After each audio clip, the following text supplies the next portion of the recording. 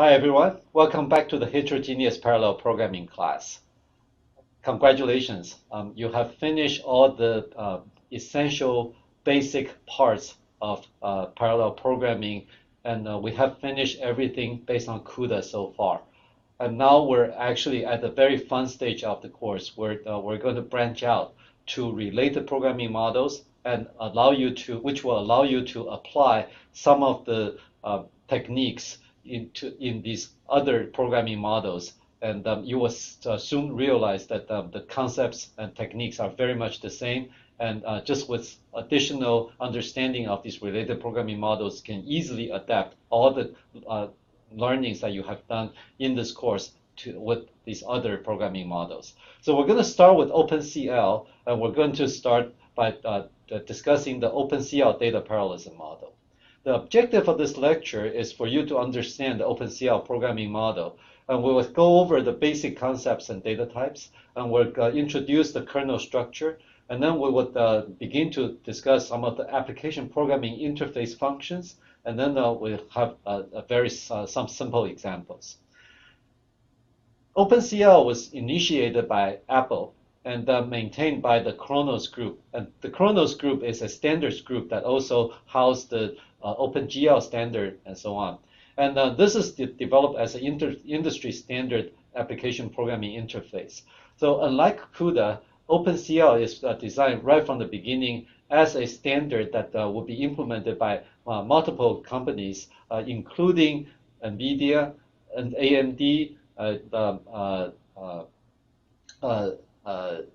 Intel, and um, Xilinx, and so on. So the, these are the companies that uh, actually produce fairly wide uh, uh, variety of different computing devices. And OpenCL is designed to uh, for them to all be able to implement a, the same programming interface so that the same piece of code will be able to execute on all these diverse devices. So OpenCL draws heavily on CUDA because OpenCL was designed after CUDA, and um, uh, there are a lot of concepts and uh, techniques that already have been proven in CUDA. So OpenCL actually uh, uh, borrowed a lot of those uh, in the uh, specification. So as a result, it's actually very easy to learn um, OpenCL as a CUDA programmer. That's part of the reason why we teach CUDA first, because once you understand CUDA, you will be able to understand OpenCL very, very easily. Um, uh, however, OpenCL host code is much, much more complex and tedious due to the desire of maximizing portability and minimize the implementation burden on the vendors. So um, that's also part of the reason why we teach CUDA first, because once we understand all the essential con uh, concepts, then uh, we will be uh, we can uh, easily uh, take another step and understand some of the uh, more tedious um, you know, uh, um, aspects of the OpenCL host code. So uh, let's start with the basic structure of OpenCL program. An OpenCL program is a C program that contains one or more kernels and any supporting uh, uh, routines that run on a target device. So this is a, a, kind of a very simple illustration where the OpenCL uh, program will contain multiple of these kernels, one or more of these kernels, and then some supporting functions that run on the device. And obviously, uh, there are also um, a, a, lot of host code that will be executing on the C, uh, CPU. And an OpenCL kernel is the basic unit of parallel code, just like CUDA kernels. So uh, we can easily just uh, change this picture to CUDA by uh, having a CUDA program here, and then uh, all the kernel A, kernel B, kernel C still apply. So that this is pretty much the direct equivalent uh, of CUDA. The execution model of OpenCL is also extremely similar to CUDA. And um, it's an integrated host device application, just like CUDA. And um, uh, the serial code or most uh, modestly parallel code run in host CPU code, so which uh, illustrated with a single thick thread. And then uh, the highly optimized uh, parallel parts in, uh, are running in device, and these are shown with these very large number of thinner threads, and um, they're running in SPMD, single program multiple data, just like CUDA and um, C code. So here is a uh, important table that uh, will uh, give you the mapping between OpenCL and CUDA uh, data parallelism model concepts. So on the left-hand side, we show the OpenCL terminology. On the right-hand side, we show the CUDA equivalent. So uh, in OpenCL, we uh, host and correspond to uh, CUDA host. OpenCL device also correspond to uh, CUDA device. OpenCL kernel correspond to uh, CUDA kernel, and OpenCL host program correspond to CUDA host program. The diff uh, here are the kind of the difference in terminology, but they share exactly the same concept. The concept of ND range or index uh, index range or index space uh, in OpenCL correspond to the uh, thread grid in CUDA, and the work item in OpenCL correspond to CUDA threads, and uh, work group in OpenCL correspond to thread blocks in CUDA. The OpenCL kernels are extremely similar to CUDA. In fact, um, uh, there, for every concept in OpenCL kernel, the, there is a direct correspondent in CUDA. Uh, in CUDA. So uh, the kernel body is also in, instantiated once for every work item.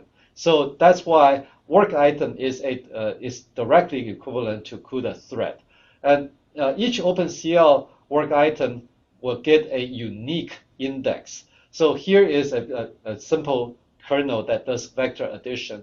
So um, instead of uh, uh, underscore underscore global underscore underscore, uh, the OpenCL kernel uh, uh, keyword is underscore underscore kernel.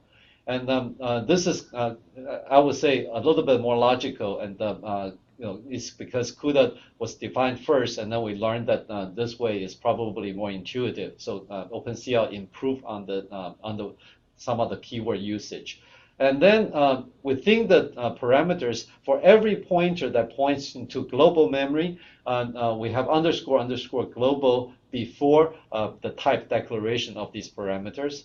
And then within the kernel, uh, instead of a built-in variable that gives us the uh, block index uh, and, and thread index, OpenCL actually has a API function call. And this API function call get global ID actually gets a uh, the equivalent of a global index um, for out of the, so it, this is really equivalent to uh, block index dot x times block dim dot x plus thread idx dot x in CUDA. So this single function call gets us that uh, global thread index across essentially across the entire grid.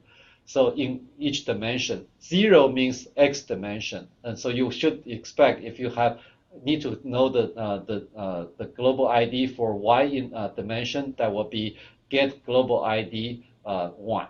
So um, once we have the, the global index, we can just use the global index to access the uh, the A and B input array and write into the result C array. So um, if we look at kind of the conceptual picture, we see that um, uh, all the work uh, all the uh, work items form work groups. So uh, in this little example, we see we have eight work items in each work group, and we have eight work groups in this picture. And um, uh, all the work items execute exactly the same piece of code. So this is the SPMD. And then uh, each work item will call get global ID zero. So they essentially they get that uh, global uh, uh, x dimension index. So after that call, all the uh, work items receive a unique number in this picture from 0 to 7 in the first work group, from 8 to 15 in the second work group, and then from 56 all the way to 63 in the uh, in the uh, uh, in, in the last work group in this example. So with one call, you get a uh, ID that is unique across all the group work groups, and then you can just use that ID to index into your uh, input data structure. So this is actually a very convenient mechanism for getting a very small, simple, small kernel going. So I uh, want to say a few words about the work groups. Work groups are the direct equivalent to uh, thread blocks. And um, uh, essentially uh, divide the monolithic work item array into work groups. So this is very, very similar to CUDA. This uh, uh, OpenCL also has this two-level hierarchy. could you have grid divided by blocks, and blocks consist of threads. Here we have ND range uh, divided into work groups, and work groups consist of work items. So all the work items within a work group can co cooperate through shared memory and barrier synchronization, just like threads in a thread block. And work items in a different work group cannot cooperate, and this allows uh, transparent scalability, just like CUDA thread blocks. So um, instead of built-in variables like a, a block idx dot, uh, dot xyz, block dim dot xyz, and so on, um, OpenCL uh, uh, supports these values through uh, API calls. So you can make an API call global uh, get global ID, and then you can provide 0, 1, 2, which means X, Y, and Z. And uh, this will give you the global index of the work item in the X dimension. This is across all the uh, work groups. So this is really equivalent to block IDX.X multiplied by block dim.x plus thread idx.x. So that, that's how we generated the global in, uh, thread index for a uh, CUDA thread.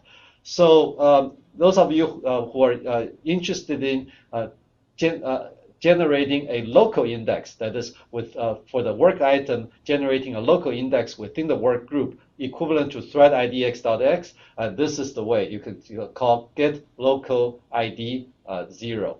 And um, each one is one underscore in between. So um, this gives us that index within the work group. And then uh, uh, for, those, uh, for those of you who need to know the, uh, the, the, dimensions of the grid in each dimension, uh, the size of the grid in each dimension and the size of the work groups in each dimension, both are measured in terms of number of work items.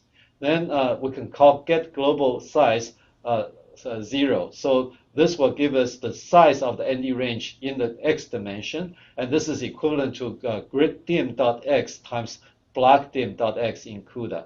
And um, if we call get local size zero, then it's equivalent to block dim.x. So uh, if you want to get the CUDA equivalent of uh, uh, grid dim uh, dot x, then you can actually just call get block uh, global size and divided by the value you get from get local size, and that will give you the number of work items in uh, in each dimension of the grid.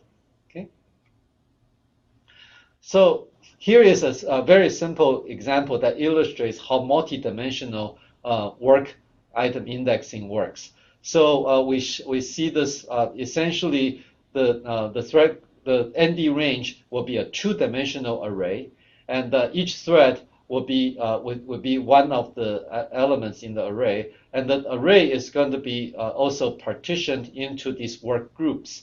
So we see that uh, uh, we can get the number of work items in each direction by calling global uh, size, and zero means x, and one means y, and obviously two will be z. And um, within each work group, we can call local size 0 and local size 1 to get the number of work items in each direction of the, uh, the work group. And um, uh, uh, for, uh, for each group, uh, we can call the, uh, we can get a group ID and um, we can, by essentially, we can call the, we can get a global ID for each thread. And then we can also get a local ID for uh, each, uh, each work item in a work group.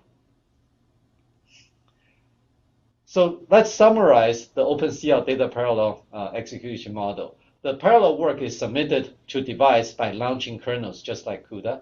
And the kernels run over uh, global dimension index ranges or ND range and uh, they're broken up into work groups and work items. And the work items ex uh, executing within the same work group can synchronize with each other with barriers and memory fences, just like the CUDA thread blocks. And work items in different work groups cannot synchronize with each other, and except for when you terminate the kernel, just like the threads in a situation in kernel uh, within uh, CUDA kernels.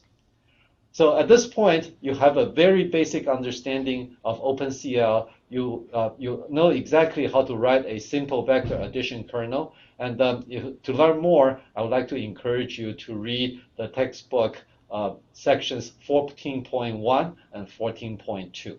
Thank you.